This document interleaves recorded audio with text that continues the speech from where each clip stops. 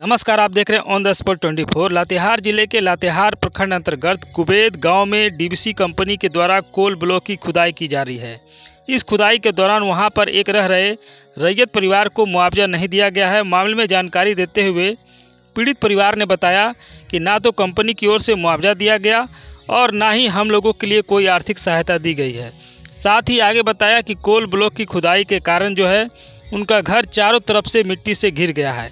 जिससे काफ़ी उन्हें परेशानी का सामना करना पड़ रहा है।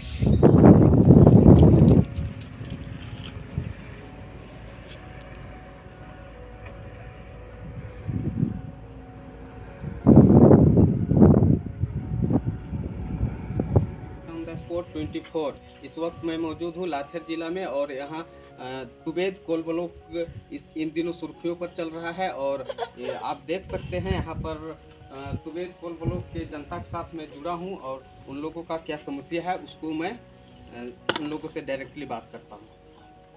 क्या नाम है आपका? जयमणि कुमारी। क्या दिक्कत है आप लोगों का? हम लोग का दिक्कत ये है कि यहाँ पे कंपनी बैठ गया है। चारों भर से मतलब पूरा घिरावा मार दिया है मिट्टी से। हम लोग का घर बीच में हो गया है। और हम कंपनी को भी मना करते हैं कि हम लोग कम पूर्ति कीजिए।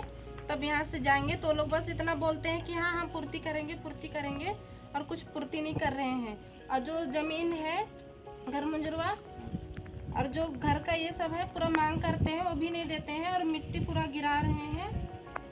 तो कौन सा ज़मीन में मिट्टी गिराया गया है? घर मंजूरवा। ज़मीन में मिट्टी गिराया हुआ है। और ये घर है ये रहती है? हाँ, ये रहती ज़मीन में मिट्टी अभी नहीं गिरा है क्योंकि जाके वहाँ पे खड़े हो गए थे गाड़ी के सामने इसलिए इधर अभी नहीं गिरा रहे हैं। तो इस इसका मुआवजा मिला है नहीं मिला इसका है। कुछ भी नहीं मिला है। अभी तक जो रहते। में मिट्टी गिरा दिया है उसका भी कुछ नहीं मिला। कुछ नहीं किया है।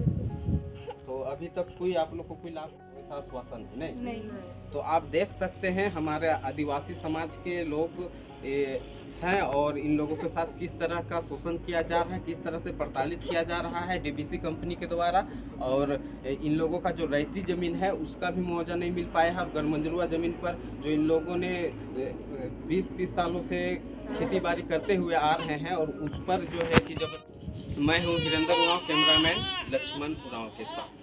Bye.